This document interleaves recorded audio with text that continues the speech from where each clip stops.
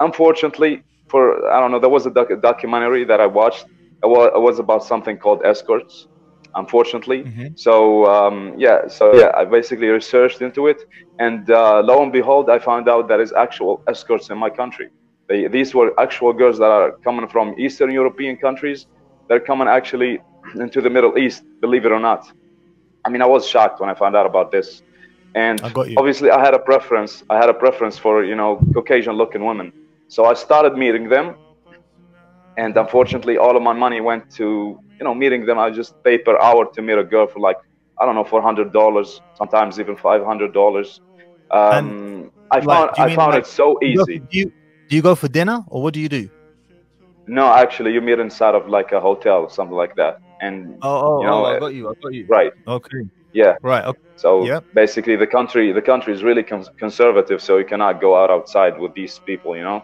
So that's what happened. I just found it so easy to like, you know, all you have to do is go to this website, take this number, and talk to them, and that's it. You're you're now sitting with the most beautiful woman that you could ever dream of. And Mhm. unfortunately, as time as time went by, I I found out that it actually has destroyed me. I now I feel like a robot. I can I do not have any feelings, and uh, I, I went broke as well. I don't have any money anymore. So uh, yeah, that's what happened. All all of this because I the marriage thing was not because it's uh, because it wasn't because of the money. It was just because I found it difficult. I just I found even I found it even difficult like telling my parents that I want to get married. I don't know. So when I grew up, talking about these things in the family was kind of like uh, some kind of like taboo thing, you know. So, anyways, when I found out about the escorts thing, unfortunately, just because it was easy, it was discreet, and even even the girls inside of their ads, inside of the, these websites, when they post an ad, they say, "Oh, don't worry, I'm uh, basically your your um, your discretion or whatever is really about most important to me and whatnot." So Mhm. yeah, you just go in, you meet her, and it's as if nobody saw you. And All of this me, is happening. Tell me, and it- you, yeah. you said to me it feels like it feels like you feel like it's destroyed you inside. What does that mean? What does that feel like, Yani? Because you got there's a lot of young men watching you who might be considering this. What does what Yeah. do you mean? Tell me how. I mean, I I honestly felt like an animal, basically. You meet you you meet a woman, you do what you do, Yeah. and then you you Yeah. go your separate ways, and then what? What's the feeling? Well, the first time it happened, uh, so this lady was basically Russian. She was definitely my type. Uh, you know, I paid like I don't know, five hundred dollars. It was an hour, and then I uh, basically she left the room. She was like, I mean, she was she wasn't really that interested. It, it seemed like she was uh, she wanted. So I asked her. She said she was gonna travel like from two days from now. So she wasn't in the mood and whatnot. Basically, when she left, and I woke, woke up in the morning, I, I was I was in so much pain that uh, I did not wake up next to her. You know, I was like, man, th- this is not uh, this is not how it should be done. If I really like somebody that much, they should be still there with me. But unfortunately, she left, and uh, I never saw her since since uh, since then. You know, basically, I felt like an animal. I was just like, there is no point to what I was doing. It was just fulfilling a certain type of fantasy. Um, you know, because of you know, porn, unfortunately, uh, uh, affected me the wrong way. So when I see this woman, I was like, uh, I felt entitled. Basically, I see these beautiful uh, Caucasian woman, you know, sleeping with whoever because it's pornography, unfortunately, and I felt entitled. And once I basically found out that they're here inside of this country, conservative country, mind you, um, it was just like uh, I don't know, a door to heaven or whatever. But uh, obviously, yeah. I mean, I thank you for for asking me because I would not never advise anybody to do this. Because I mean- just because you like her, just because she's beautiful, does not you does not mean you're gonna be fulfilled next. You, you're just gonna be feeling empty So afterwards. can I ask you a question then? So obviously, Yes, this, please. this this is an interesting point you said. You said just because you like her doesn't mean you're going to be fulfilled. So you know, Yeah. let me get specific here. So whilst you're doing the act, do you feel terrible whilst you're doing the act, or do you feel terrible after the act is over? No, uh, right after the act is over. During the act, you feel like you're drugged. You're you're in some you know some some state, some trance or whatever. But once it's all over with, you just the first question that comes to my my mind is why, why did I do this again? Why did I do this again? I promised myself that I'm not gonna do it again. Why am I doing it? She's just gonna leave. I'm just gonna this this shouldn't be done like this. So uh, yeah, and obviously I regret it. The whole thing about uh, you shouldn't be doing zina and all of that. I mean, I regret it. I regret doing it. I, I never thought I was gonna do it, but the fact that it was so easy It was so easy. It's just you have to get a phone number, uh, you know, talk about the price and whatnot. You go to this hotel, and that's it. It was that easy. But with me, with when it comes to marriage, I felt that there is so many, so many hoops that I have to jump through.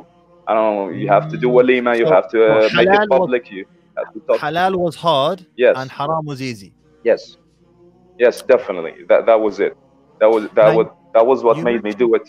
You mentioned your family Yes. found, uh, uh, treated marriage like a taboo subject when you were younger, and therefore you found it difficult Yes. to even raise the subject. My yeah. My- this- please explain that more. Mhm. Break, uh, unpack that for me. all right. So um, obviously, I have one brother and I have two sisters. Now let's not talk about the brothers. I'm just gonna talk about my sister. My sister got married when she was 36, bro. I mean, I don't know, believe it or not. And she obviously This she couldn't speak in to my Arab father. world, by the way. It's very common in the Arab Uh, world. yeah. Yes, this is this is uh yeah. By the way, I'm uh, from North Africa, so yeah, Ah, this oh, is it's uh, very common in my country. This is in North Africa as well. I won't say where. Well, you yeah, absolutely. So so since I was I was the youngest guy at, at home, my sister was comfortable talking to me. So she told me about this guy she met. I, I believe I was in school, maybe uh, primary school. I was very young. She was comfortable to tell me about this stuff, but she told me, "Don't you ever tell my father." She was she was like this. And this guy, unfortunately, he wasn't like what you call now a high value man. He didn't even have like a diploma. And since my father comes from like a background where you have to have a, you have to have a diploma of some sort. You can't be just walking uh, working some random job, you know, construction or whatever. I believe this guy was working some kind of construction thing or whatever. She liked the Mm. guy, but she could not tell my father about uh, about it, and she she always told the this guy she was meeting that he has to study somehow. He has to study. He has to have the diploma or something before he comes in and meets uh, my father. So yeah, he broke it off. He got fed up with her, and then I don't know. Somehow she uh, wrong number or whatever called her, and she she met this guy and they got married. Obviously, she does not like this guy, but uh, but once they got uh, children, now you could say they you know they developed a relationship. So yeah, that's what happened. This is so sad, man. I, I don't know what to say, man. I just want to, you know, before you leave, bro, I just want you to, can you please leave some parting advice for the brothers who may be on the brink of going down this rabbit hole that you went through with these escorts and, ho- you know, and hotels and and the feeding afterwards? What would be your parting advice? And the easy thing to say would be, brothers, don't do it. But that's like you understand how difficult it is to be to have that sexual frustration frustration and at the same time Mhm. you also understand how terrible you feel after doing it in haram Yeah. what advice considering you have these two unique experiences in tandem what advice would you give to the young brothers watching right now Yes. So my advice would be this. Obviously, the whole thing, uh, basically being obsessed with women and whatnot, beautiful women, uh, started with pornography. I, first thing is, I would advise everybody to stay to stay away from it.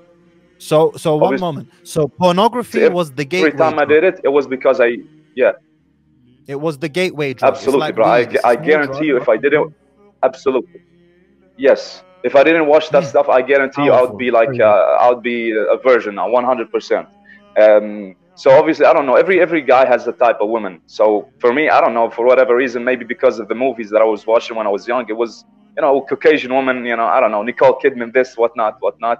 So I basically like this these women so much, and I there was times I was telling myself, if I only can get my hand on one of these women, I, my life would be complete.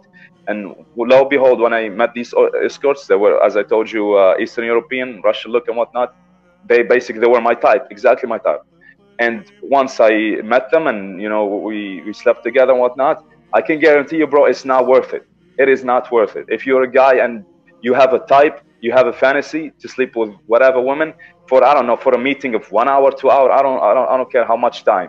The fact that she's when you wake up, she's not gonna be there. It is not worth it. I guarantee you. You're just gonna go broke, you and you're gonna use you- you're gonna lose your deen as well. You're gonna struggle with this. And I'm obviously I wanted to open up here and uh, tell you about this stuff. I really Um, appreciate I really appreciate you coming on and sharing this because you know Yeah. you know your identity is anonymous which is the main thing but I really appreciate you sharing this with the young men who may be on the brink of doing something like this you know Yeah, bro, it's not worth it. such a powerful I think that's such a powerful lesson that you have just shared that the gateway drug the bridge was the pornography Uh, yeah. It One was hundred the- percent, yes. that was the gateway. That was absolutely. So yeah, stay away from it, guys. Stay stay away from pornography. If you're if you're a parent or whatever, do whatever you can do to uh, do not give your your children uh, a phone screen or whatnot, something where he can have in his own privacy. Uh, that's mm. totally wrong. Just mm. just if you if if you want him to give him screen time, just let him watch TV with you in a big screen or something like that. Do not give him privacy. He's gonna be destroyed if if he's prone to this stuff. So yeah, bro.